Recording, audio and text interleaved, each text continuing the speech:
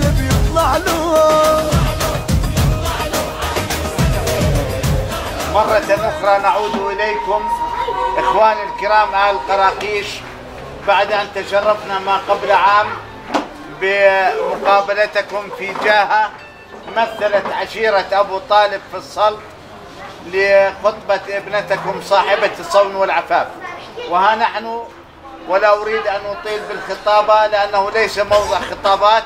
نحن في هذه الأجواء الربيعية وربيعنا دائم في هذا الوطن الكبير بقيادته الهاشمية قيادة الملك عبد الله الثاني والذي ننعم بظلها بالأمن والأمان بفضل من الله ومنة منه.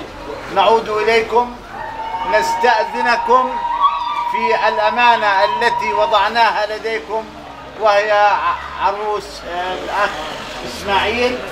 ابن الأخ محمد إسماعيل أبو طالب راجينا أن تسمحوا لنا بأخذها حسب الشرع الإسلامي ووالد العريس هو جاهز لما تطلبونه في هذه المناسبة.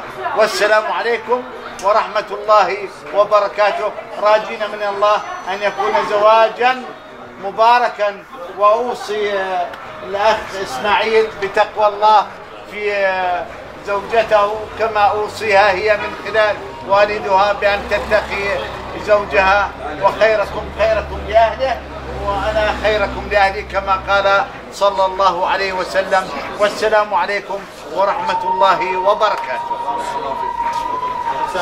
وأصدقائه جميعا وحياكم الله.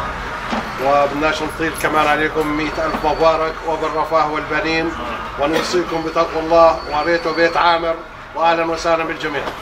حياكم الله وتفضلوا القهوة إن شاء الله. حياكم الله يا سيدي.